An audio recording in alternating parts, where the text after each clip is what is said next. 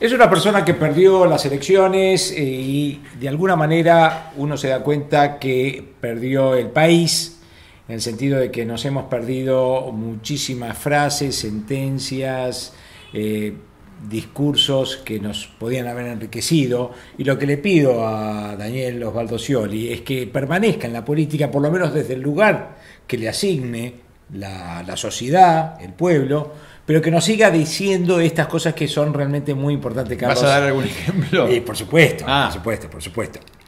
Eh, está comentando lo que está sucediendo con respecto a la citación de Cristina Fernández de Kirchner a través de la venta de dólares al futuro.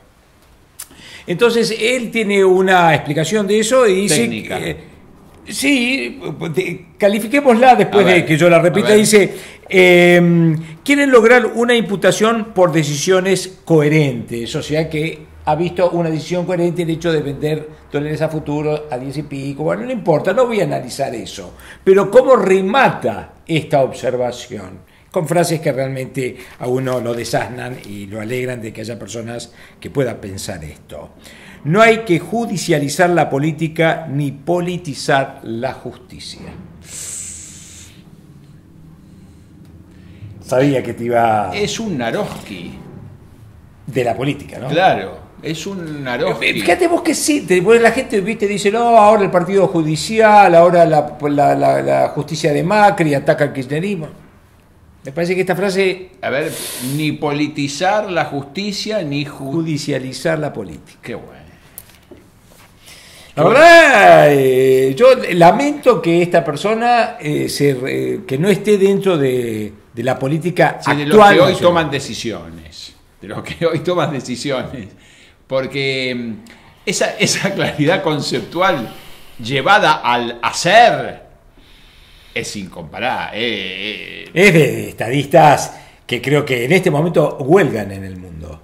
O sea que no hay... ¿Están de, están de huelga esos estadistas? No, no, que no hay, no hay Ah. estadistas de esa talla, ¿viste? Incluso después si tenemos que comentar los Panama Papers. Pero bueno, eh, quería decir esto, si... A ver, y en todo caso, si Scioli se llega a apartar, que cada tanto eh, aparezca con estos pensamientos. Creo que la distancia también le da la posibilidad de pensar de esta manera profunda. Ahora, y- perdón, ¿no apareció todavía el periodista que compiló Ya va a aparecer. estos?